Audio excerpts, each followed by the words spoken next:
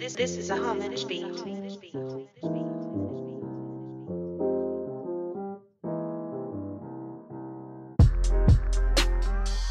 was where the Israelites would go to make uh, sacrifices.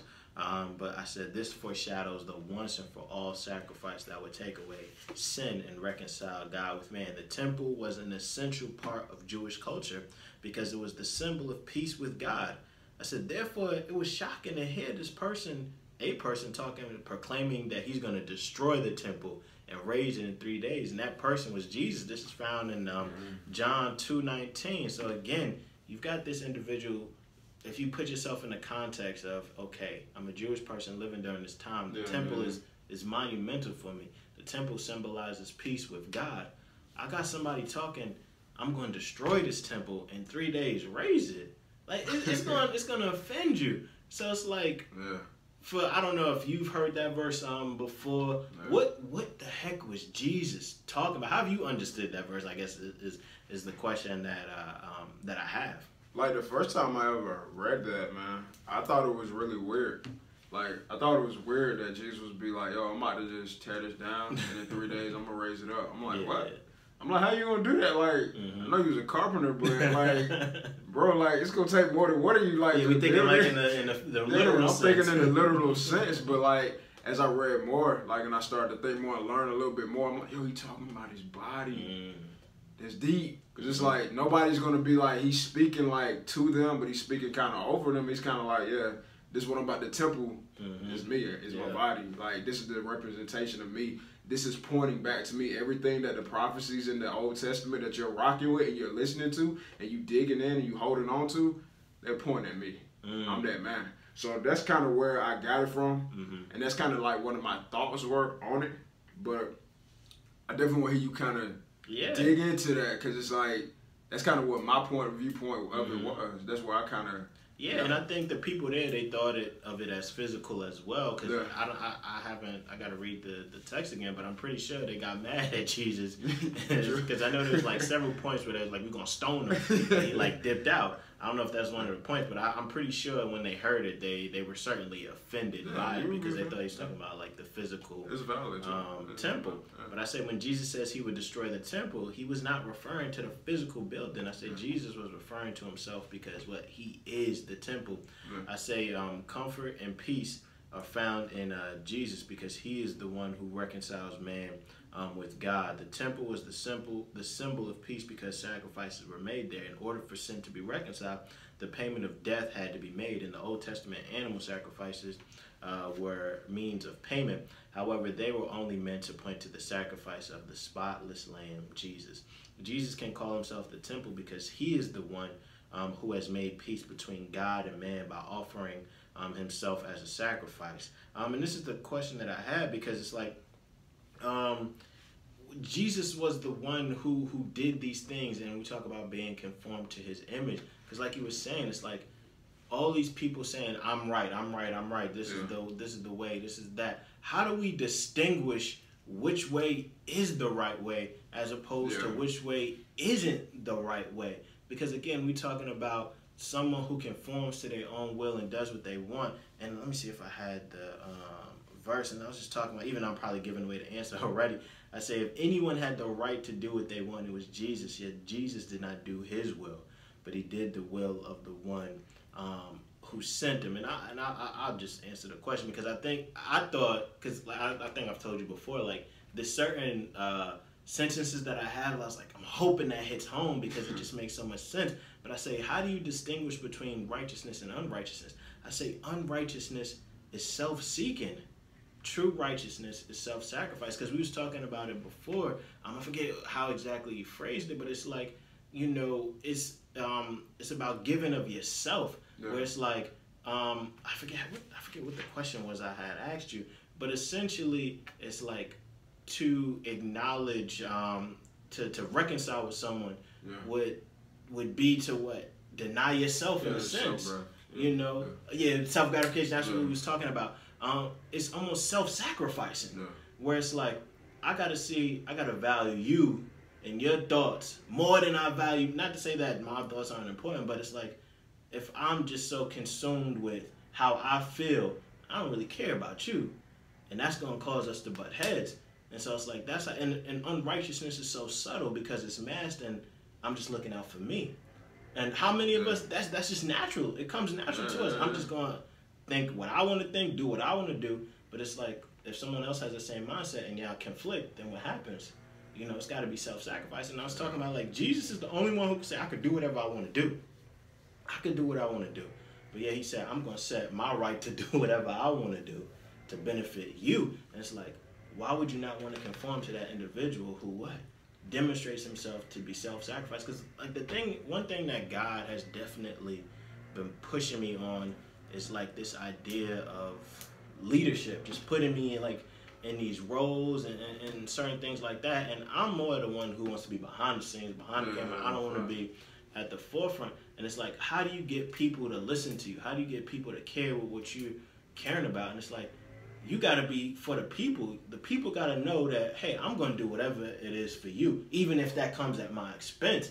And it's like, you see somebody like that, that's what I want to follow. Yeah. That's what I want to model myself after. Someone what who not seeking to do their own will, yeah. but seeking to what give of themselves to be self-sacrificing in order to benefit someone else. So I guess what what are your thoughts about that? Because I think that's how you distinguish between that which is righteous and that which is unrighteous.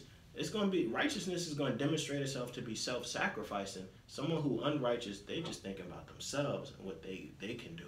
See, um, we make a. It's gonna be another like one of pop culture. No, go ahead. Go like. I know we, uh, me, we, me, and you, and, them, and a couple more brothers. We saw the Infinity War yeah. movie mm-hmm. like last week. And like, it's gonna be spoilers if nobody's seen that. But like, the dude, if the you villain, ain't seen it, stop listening. the villain, like Thanos, mm-hmm. He sit here thinking that what he's doing mm-hmm. is mm. beneficial yeah. to everybody in the universe. Like, but at the same time, he saw it as a self-sacrifice for the calling that he had, mm-hmm. but all the things he had to give up in order to fulfill that, and he ended up killing like all these people, people that were beneficial and to other people. He ended up killing them based on something that he felt was the right thing to do, mm-hmm. and it just created chaos and discord. Yeah, yeah. You know what I'm saying? So just thinking about that and just seeing that, the issues that our own process and our own thoughts of about what is the right thing or what is the right way to go about things mm-hmm. that that can do as we just go forward in that man it's just like whoa like when i have this mindset of like if i do it this way my my thought process on what is righteous and what is good and what is right and what's going to be beneficial and what's going to balance things out and make comfort comfortable for everybody if it conflicts with yours and we don't have an understanding of what the true standard is and we have a conflict on my standard is if I get rid of all these people, mm. we're gonna be good. But my stand and then the other person's standard is like, well, we need to do what's best for everybody. We need to benefit everybody. Um, we need and we conflict on that and we don't agree. Yeah. It's gonna be chaos and somebody's gonna get hurt in the end. Mm-hmm. But if we do have that, but if we can come together as people and have that standard of like, okay, there's one standard, and if we can like, even if we disagree, we can come together and kind of work towards that. We're working towards a common goal. So like that made it made me think about that just a little bit as I read it. You know nah, and, that, and that's and that's dope because I think essentially because what we arguing, what I'm arguing is the fact that true righteousness is self-sacrifice, not self-seeking. Thanos he wasn't sacrificing himself. He was sacrificing other people yeah, yeah. for a righteous cause. Yeah. And it's like, nah, bro, what, what, what, what, is you doing? And I heard, like, again, sorry if y'all listening for spoilers, because I was listening to a podcast, and they was like, so wait, he got to kill half of the universe in order for the other half to live. And he's got the Infinity Stones in order to do it. But he, they was like, why just not make the universe bigger? Exactly. Come on, come on, bro. Just make it just didn't make sense. Food for the but that's what he thought was right. That's yeah, what he exa- believed. Exactly. That, he thought was right in yeah. his own mind, and that's how many. Because again, we got. I think po- politics is too complex, but it, just follow my thought. Go ahead, like go on the right, on the right, on the Republican side, they think in their mind they're doing things the right way. Yeah. On the left, the Democrats, the liberals, they think they're doing things the right way. No one says I knowingly do. I know that I'm doing something wrong. They think that they're doing the right thing. Yeah. So who's right? Yeah. You know, are they right? Are they right? And it's like it's, it's very complex because I think there's rightness on both sides, but then there's wrongness on the other side too. But it's like the true way to sift through all of that is like which one seeks to exalt self, mm. which one seeks to exalt others. You know, which one comes at expense of your own self in order to benefit somebody else? What Christ is that paradigm? Yeah. What it, he didn't kill other people. He got killed in order so that we wouldn't get killed. And that's like true righteousness right there. It's like that's what we want to conform to. All of us want to conform to that which is right. Yeah. But the question is, what is right? Yeah. You know, right is that which is self-sacrifice, and it's like it happens Yeah. so subtly because in Thanos' mind, he think, "Yo, I'm doing this, I'm doing something right." But how many of us, I think I'm doing something right, Yeah. you know? But it's like, no, you you just seeking self, because if you was truly doing, and that- and that's the Yeah. hard thing about it, because even with conflicts with our spouses, it's like Yeah.